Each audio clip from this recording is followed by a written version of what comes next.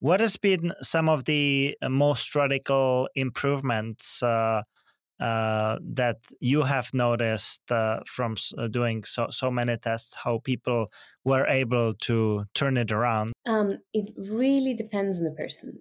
And you know, it's not patient. Uh, patient data is private, and our users own their data. We publish trials.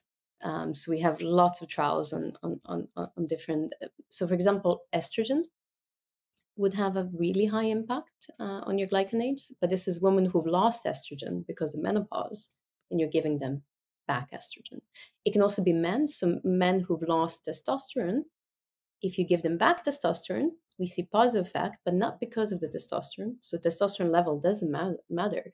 It's the estrogen level because in men testosterone converts to estrogen, and there's a healthy range. Shouldn't be too low, shouldn't be too high, and that seems to keep their immune system anti-inflammatory and is very important uh, for long-term health outcomes. And there's even data now that um, men who go on raw estrogen, uh, uh, people who transition, um, who, who go through gender affirming therapy to yep. transition into uh, women trans female, they uh, look more anti-inflammatory and they have less coronary uh, plaque so less cardiovascular disease. Um, so, but you can get this for testosterone. You don't need to go on raw, raw estrogen. um, and this is only a factor if it's low for you, which it wouldn't be for a young man unless there's a problem. And in that case, you first want to remove the problem uh, and then wait until you uh, are in your later years and replace it when you actually need it. Um, so that's one related to therapy. Now, on another side, if you're looking at an individual, you have to figure out what is his problem. Because it doesn't matter what we say as general advice, it has to apply to you. And we see that the biggest drivers, for example, athletes, are generally more prone inflamed. Uh, so before we started, you told me you do a lot of sports uh, on a competitive level. We're slowly getting there. yeah. Um, so we did a big, we did a number of studies on on sports, and one um, com- larger review, uh, paper, um, larger study where we compared different types of sports and different profiles of training, from moderate to just beginning to exercise or go to the gym between 40s and 60s to professional athletes. And when we compare professional athletes and people who are sedentary and they've never trained in their life and they're a little bit overweight. Um, professional athletes are equally inflamed as the sedentary overweight people, um, which is also a risk factor. This is why professional athletes have very short careers because they do damage to their bodies very early on. Um, now, moderate training looks the youngest. So people who moderately train throughout their life, they have the lowest inflammatory scores. And then if you compare professional athletes, male and female, women look the worst. Uh, and they also would frequently lose their cycles. Uh, depending on the sport, they can lose bone density. And there's a number of factors there that would mimic aging in a young woman because of the load of sports uh, or physical stress she's putting on her body. Uh, so when you're an athlete, you're not really working for longevity, you're working for performance. And performance and longevity are actually two opposite things. Because for performance, you need the same as entrepreneurship. You need to sacrifice yourself for a couple of years for an impact, and then you will fix the damage later on. And that's what you need to do with sports as well. So with athletes, we don't look at we would see how inflamed they are when they compete, but what we really want to measure is how well do they recover after competing.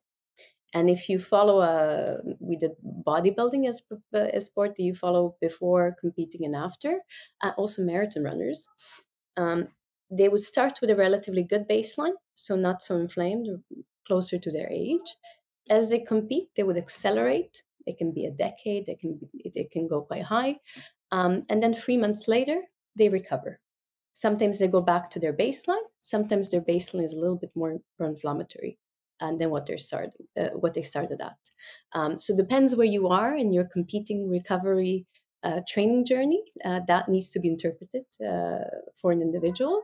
And then the main thing you would want to care about uh, as an athlete or somebody who does sports uh, is how well you recover after competing. so a couple of months. Do athletes ever go below the baseline that you would see that they are actually uh, their biological age uh, is way lower than what is their chronological age? Oh, of course they do, but they're usually an anomaly, not not the average. So when we find an athlete who's very very anti-inflammatory, we want to explore what he's doing. So like, what do you do? Because uh, if you're looking at like a professional soccer player, rugby player, yeah. any, they are usually highly inflamed.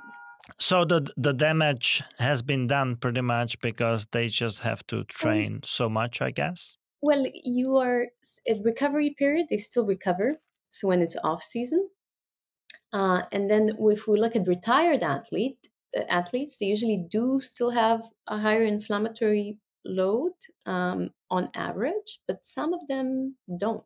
So I think it's all this new science we're learning with sports on recovery and how important recovery is because you are doing damage. And if you want to have a long term career as an athlete, you want to train uh, past your 40s, uh, then you need to look after your body uh, a lot more. So yes, you can have a great score as an athlete, and if, if you do, you need to tell us what you're doing, and, then, and then you can.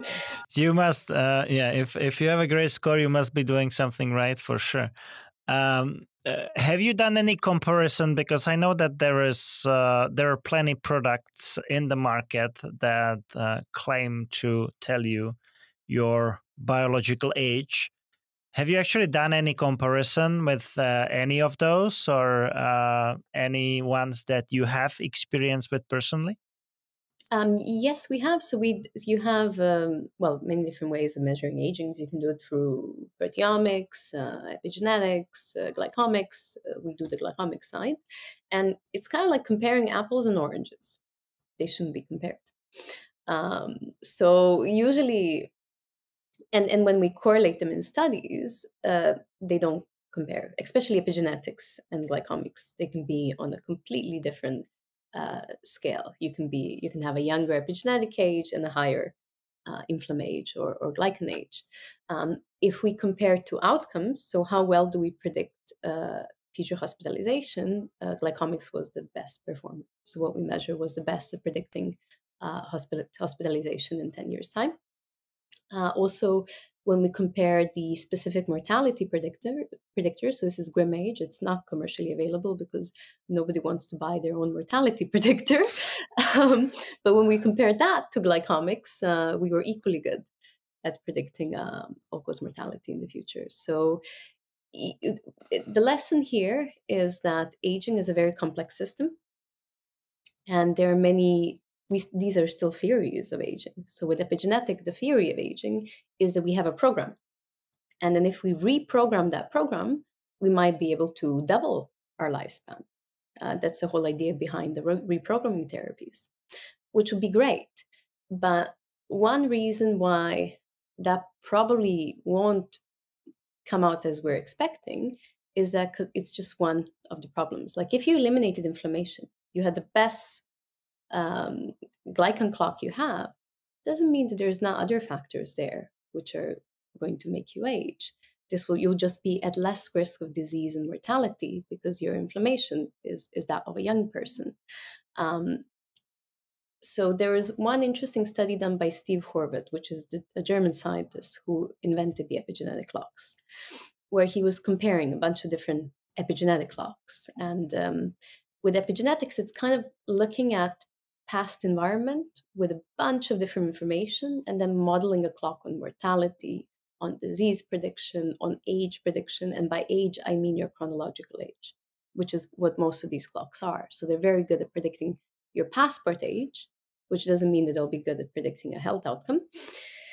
And then he had another clock that was invented, which predicts maximum lifespan, both in humans, but also in all the animal models.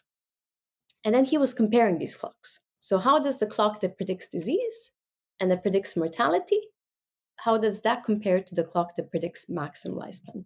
And none of these clocks compared. so, what that means is that we probably do have a program which gives us our maximum lifespan as a human species, same as this does in every animal model. But what kills us along the way is different to this program that gives us a maximum lifespan.